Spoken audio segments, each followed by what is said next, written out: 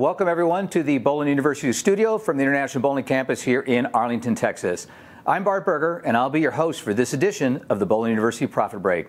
Thank you all for joining us. Our mission here at the university is to enrich people's lives personally and professionally, and the Profit Break is an opportunity for sharing insights on how to grow revenue, reduce costs, enrich yourself, your team, and your business. Now, if you're joining the Profit Break for the first time, welcome. We're glad you're here. Give us 15 minutes, and you'll be well on your way to improving your profitability.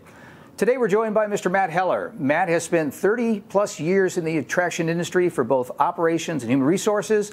He is the founder of Performance Optimist Consulting and author of two books, The Myth of Employee Burnout and All Clear, a practical guide for first-time leaders and the people who support them, which we both proudly have those in our Bowling University bookstore. He also serves as an outside consulting partner for Amusement Advantage. They are BPAA's smart buy solution for measuring the guest experience. Matt, welcome and thanks for joining us today. Thank you, Bart. I'm so excited. Yeah, awesome. Well, hey, look, I know that uh, you've been with us before Bowl Expo, but it's been a little while, and it seems like for me, anything that happened before the pandemic is like ancient history. So uh, let's spend a minute before we jump into our topic and uh, learn a little bit about you and your uh, your group and what you do. Absolutely. Thank you so much for having me uh, today on the Profit Break. Um, my company is Performance Optimist Consulting, and really what I do is kind of derived from the title, right? You know, so everything that we do from a from a business standpoint, from a people standpoint, it's all based on performance. So, how are we performing as a leader? How you, is your team performing? How is your business performing? So, what I like to do is work with organizations and really help them make sure that their performance is top notch. So when you think about again, you know, are your leaders interacting with your teams in the right way? Are you are you getting the most out of your team? Are your is your team engaged? So everything sort of on the people side of the business is is where I focus.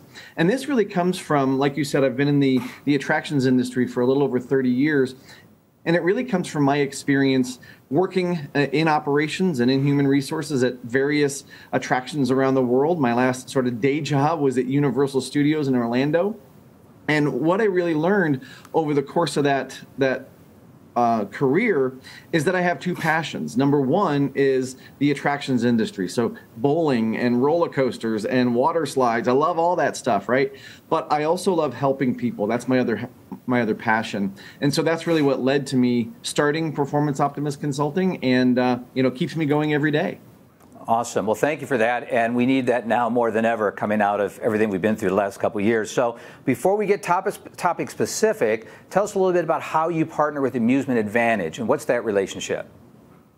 Absolutely. So I've known Scott, the uh, the founder of Amusement Advantage, for many many years. And actually, if you'll indulge me, I have a quick fun uh, networking story. I actually met Scott uh, when I first started working at a, uh, at a, at a family entertainment center in Connecticut. I was the general manager, and they were already using his mystery shopping um, uh, service, and I thought it was great. I thought, you know, this is before I went to Universal, before I started my own business, and I already sort of had this this um, desire to train people and I'd done a lot of that already and I thought this is a great springboard and really great information for you know designing training. What did we see? What did what did the guests see?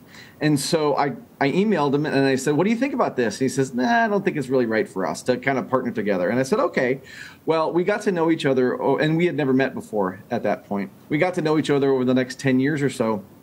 Honestly, you know, meeting at BPAA and IAAPA and and all the all the AA conferences, and um, you know, we really got to know each other and and really started, you know, finding out we had so many things in common. And he said, "Remember that idea you had like 10 years ago? What do you think if we start that up?" So that's what actually led to uh, us working together. And what I get to do now is take those mystery shopping reports that his company provides and really look at trends. So, you know, it's one thing to look at one report and say, okay, well, this is what happened. This is the snapshot that we have of that particular day. And when you look at that over the course of time, you can start to see trends and you can start to see things that, you know, may be happening one day, but not another day. And then they are happening the third day. So if you have three different reports or four or five different reports, you know, sometimes for an operator, that can be very overwhelming to look at. So as a third party, I can come in and look at those and kind of look at it from a 30,000 foot view and say, okay, on this day, when somebody came into the bowling center, Bart was outstanding. You know, he was great. He was great with the guests. He was joking with them. You know, he was the outstanding employee. But then this next visit, a couple of weeks later, Bart wasn't so great. So what's the difference? What was happening, you know, differently on those two days? And then you look at another report, and Bart was great again. So now again, we start to see trends, and that's where we can kind of analyze those trends and figure out what we need to do from a business standpoint. Again, what's the performance level that we need to amplify so that uh, your your business is doing the best it can do? Yeah, thank you. So, you know, we used to call this customer service. Now we call it the guest experience. And this whole idea of uh, measuring it, this topic of guest experience is something that's so simple to understand, but so hard to execute. I mean, why is that? I mean, in your experience, why is something so simple so difficult? I'm glad you brought this up because I really feel like when we talk about the guest experience, it's so wide ranging. Like, what does this really mean? But then when you get down to the, the essence of what it is, it's honestly a perfect storm. It's a perfect storm of leadership, of team members, of the environment. And there's so many moving pieces that when you try to figure out what is the perfect guest experience for a family coming into the bowling center, well, it could be different for different people. It could be different for people coming in for a birthday party versus a corporate event versus a league versus people coming in just for a Saturday afternoon of bowling. So the experience that people have um, can can really range based on their ex, their expectations, and those expectations start probably long before they even get into the center. Right? They're looking online, they're reading reviews, they're talking to their friends. So all those things kind of come together to create their expectation, and then when they get there how does the actual experience meet the expectation and again you you have very different expectations i think for different groups and even you know teenagers coming into bowl for a little while is different than a family with small kids so when you look at guest experience yes you're absolutely right let's treat people well and make sure they have a good time overarching umbrella topic sounds easy but when you look at all those different elements when you look at your team members, you know, having different people on staff every day. You have, um, you know, the environment. You know, how clean is your facility? How how safe do people feel? That all works into the guest experience. So I think it is that perfect storm of all of those things have to come together for each guest. Yeah, and it's so difficult to measure that and quantify that in this this nebulous thing called you know guest experience there. So.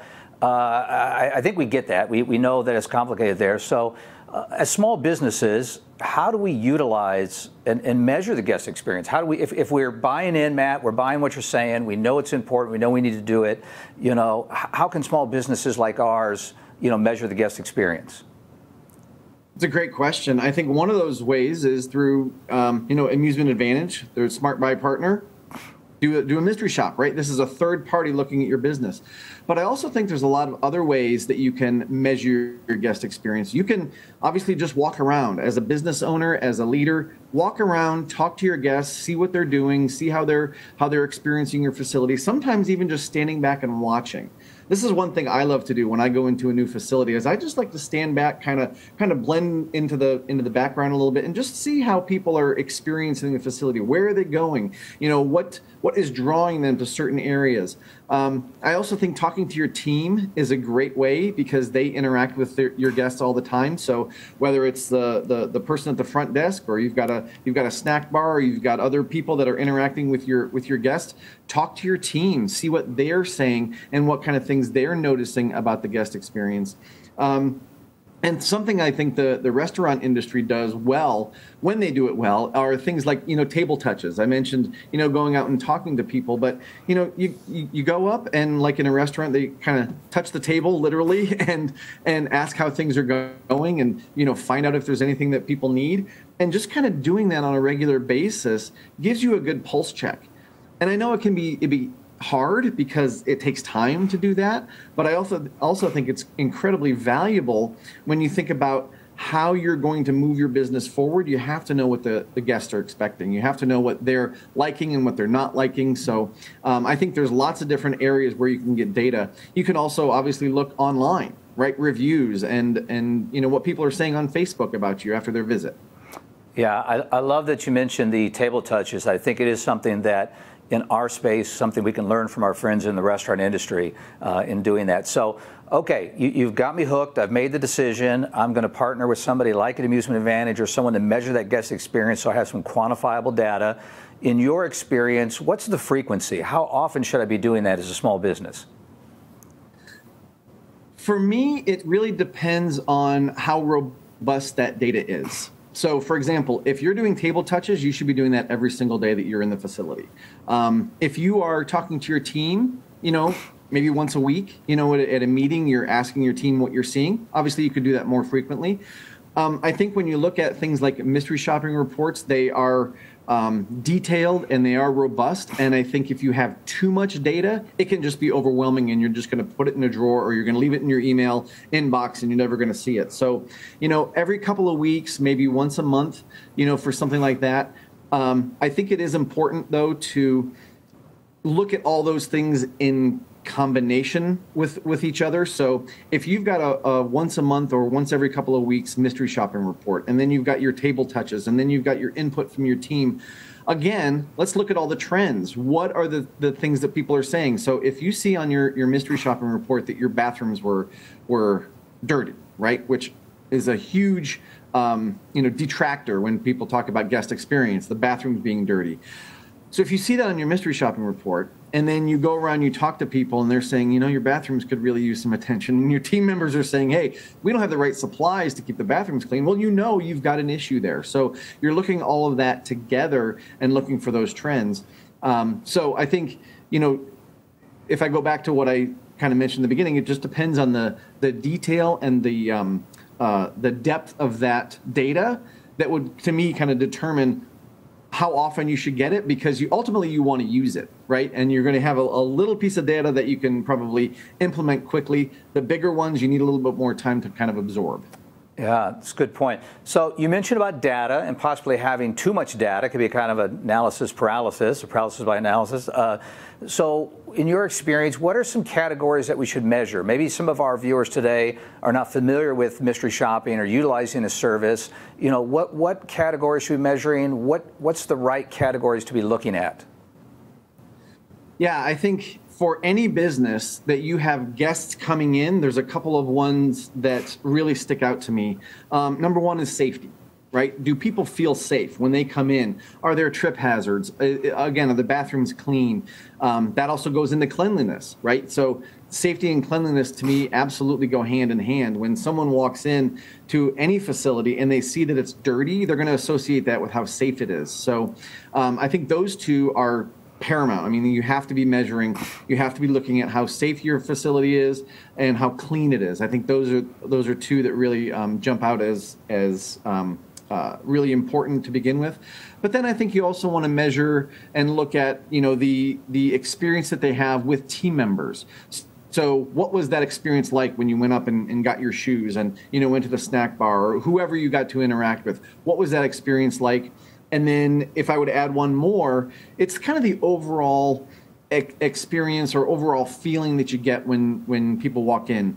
Is it upbeat? Is it kind of fun? Is it exciting? You know, are there lights and music and cool colors, or does it look like the last remodel was in the '60s? So I think if if I were to kind of start, if if people hadn't you know kind of measured the guest experience before, I would start with those four things: safety, cleanliness, team member interactions, and then overall sort of uh, atmosphere. Yeah, four great things to get started with there, Matt. So I want to dive in a little bit on this topic of cleanliness because it does. You know, you mentioned safety and cleanliness are kind of one and two, and, and I, I wholeheartedly agree with you. And this topic of cleanliness in the bowling industry, it's something that I, I think even for, for all out of home entertainment was something that's always been important, right? I mean, we've, we've always strived to have uh, clean facilities, but in this world we live in now, in this post pandemic world we live in, it's taken on even a new meaning. You get the chance to travel the country, you work with a lot of different brands and, and different uh, facets of the entertainment industry.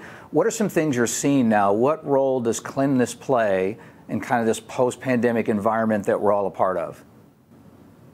Well, I think you're absolutely right that cleanliness has always been something we should be paying attention to and something that the guests value. Um, whether they're walking into a bowling center, Universal Studios, Six Flags, or Home Depot. I think that you know they they value that cleanliness no matter where they're going. What I'm seeing now is that there are different levels of the I don't want to say expectation, but different levels of what people feel about how clean a place is. For example, there are some people that will still wear a mask, you know, for maybe their own health reasons. There are still people that will go to the grocery store and still wipe down the carriage or, you know, be more conscious of that.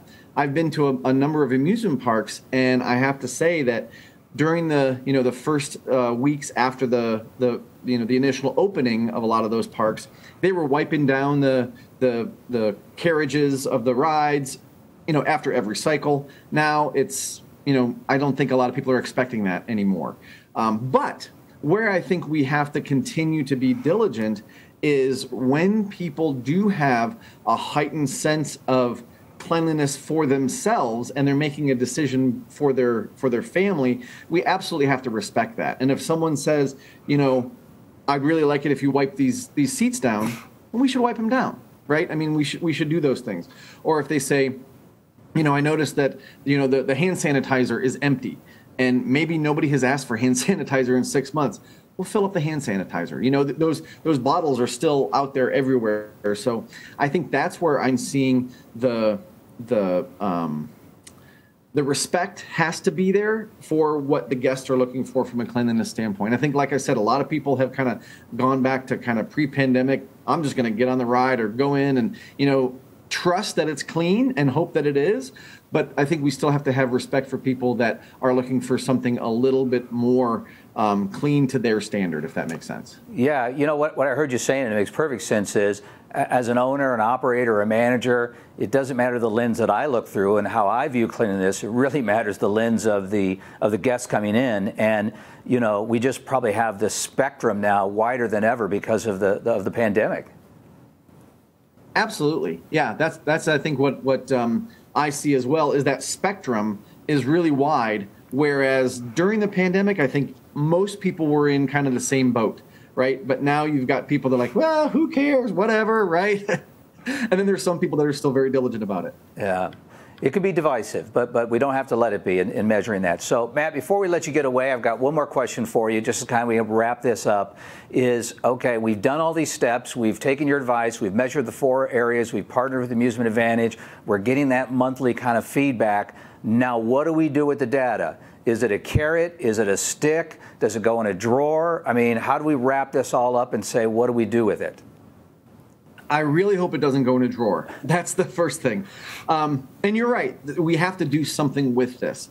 So what I would would kind of uh, recommend to people is take a look at what sort of the the immediate needs are. For example, we go back to the bathroom. If you're seeing from all your data that people think your bathrooms are nasty, and you go in, and you're like, eh, it's not that bad. To your point, it's not your lens that matters. It's your guest lens that matters. So, what is it about that? Like when you walk in, it may look very good, but does it pass the sniff test right? So what is it that you can you can look at you know relatively um, quickly or something that a lot of people are kind of talking about that you can you can have some some impact on? I think when you look at carrot versus stick sometimes it's hard to use that stick when it happened a while ago right? So what i would prefer to do is look at those trends again and figure out okay what do we need to do to either continue the positive things that we're doing? So again if bart was great on you know x x day and we can look at that day and say well here's why. Um, you know a certain manager was on duty that day and they get along really well and you know they just make a great team. But on this other day bart was with this other manager and you know they kind of butt heads and it's it's not a great relationship. Well let's take a look at that relationship right and figure out how we can we can make that a better relationship so that bart can perform at a high level on on each one of those days. So i think it's just taking a look at you know what are those areas you can attack first and always be making some sort of progress right? You don't have to address everything at once. So just take a look at those things that you can address. Get your team involved. I think that's another you know a great way to kind of keep people engaged and say here here are our shopping reports. Here's what you've said. Here's what i've learned from our table touches. What do you guys think we should do about this? And then uh, get them get them engaged and involved. And that will help you move forward and continue to move forward Good. Great insight. Well, Matt, uh, great insight on all those items. Can't thank you enough for your time. We know you're busy. Uh, thank you so much for being with us today. Well, thank you, Bart, and uh, I really appreciate the opportunity. It was great chatting with you. Awesome. So, hey, folks, as we wrap up another edition of the Bowling University Profit Break, remember that when your focus is on growing people, people will grow your business. We look forward to seeing you next time for another great episode. If you'd like to uh, get more information on measuring the guest experience with Amusement Advantage, you can connect with them by calling the number on your screen or email bpaa at amusementadvantage.com. Now, if you'd like to connect with Matt for more information, you can visit his website at performanceoptimist.com. Also, you and your team can watch any of our previous episodes 24 7 by visiting bowlinguniversity.net. The Profit Break is content available when you want it, and we have new episodes premiering every month. Until then, I'm Bart Berger, and remember do for one what you wish you could do for everyone. We'll see you next time.